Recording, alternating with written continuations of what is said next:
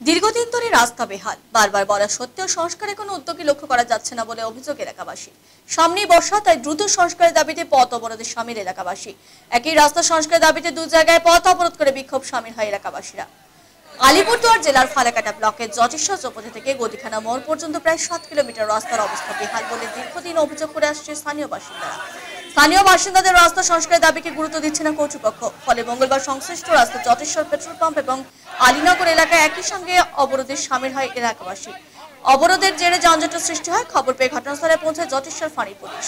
সকাল নটা থেকে তিন ঘণ্টা অবরোধ চলার পর অবশেষে ঘটনাস্থলে ফালাকাটার বিডিও সুপ্রতীক মজুমদার পৌঁছে দ্রুত রাস্তা সারার আশ্বাস দিলে অবরোধ তুলে নেন এলাকাবাসীরা। বিডিওর আশ্বাস অবরোধ তুলে নেওয়া হলেও দ্রুত কাজ শুরু না হলে ফের আন্দোলনে নামার হুমকি দেয় স্থানীয় বাসিন্দারা বলে জানা গিয়েছে।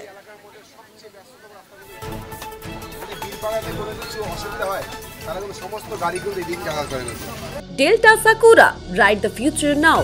Japanese technology e bike পাচ্ছেন পাঁচ বছরের ওয়ারেন্টি, এক মিনিটে ব্যাটারি সোপিং ফেসিলিটি ব্যাটারির উপর পাঁচ বছরের ওয়ারেন্টি, খুব সহজ এক্সচেঞ্জ এবং ইএমআই সুবিধা। টায়ারের উপর পাচ্ছেন পাঁচ বছরের ওয়ারেন্টি, পাঁচ বছর পর্যন্ত নিশ্চিত এক্সচেঞ্জের সুবিধা।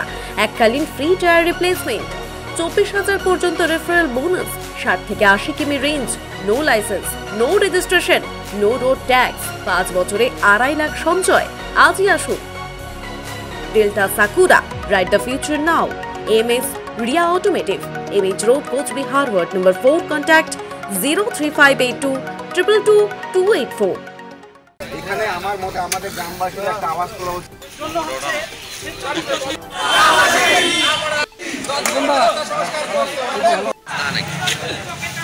দরকার আছে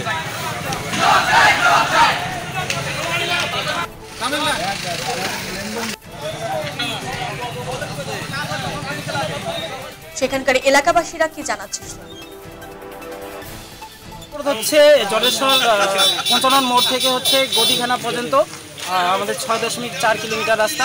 খুবই বেহাল দশা, যে কোনো মুহূর্তে যে কোনো দুর্ঘটনা ঘটতে পারে। প্রতিনিয়তই বিভিন্ন লোক, গ্রামবাসী থেকে শুরু করে ছাত্রছাত্রীরা চলাচল করছে। এই রাস্তার বেহাল দশা, এই রাস্তা সংস্কারের দাবিতে আমাদের এই আজকে পথ অবরোধ। এবং আমরা জানি যে ওনাদের দেওয়া সাইনবোর্ডে দেখলাম যে হচ্ছে এই রাস্তার যে রক্ষণাবেক্ষণের মেয়াদ সেটা দুই হাজার তেইশ সাল পর্যন্ত আছে এবং তার জন্য বরাদ্দ হচ্ছে ছেচল্লিশ দশমিক আটত্রিশ কোটি টাকা। এবং সেই সাথে এখানে টোটাল রাস্তার যে দৈর্ঘ্য দেওয়া আছে সেটা হচ্ছে এগারো দশমিক পাঁচ কিলোমিটার। কিন্তু আমরা ওনাদের বোর্ড অ্যাকর্ডিং টু বোর্ড অনুযায়ী আমরা দেখতে পাচ্ছি যে হচ্ছে ছয় দশমিক চার কিলোমিটার রাস্তা অর্থাৎ জটেশ্বর, ঠাকুর পঞ্চান্ন মোড় থেকে হচ্ছে গদিখানা মোড় পর্যন্ত এইটুকু রাস্তা ওরা পাকা করেছে এবং গদিখানা মোড় থেকে হচ্ছে আমাদের খগেনাথ পর্যন্ত যে হচ্ছে দুই দশমিক ছয় কিমি রাস্তা যেটা হচ্ছে পিডব্লিউডির আন্ডারে পড়ে এই রাস্তা কাজটা কিন্তু জেলা পরিষদের আওতায় নেই এখন।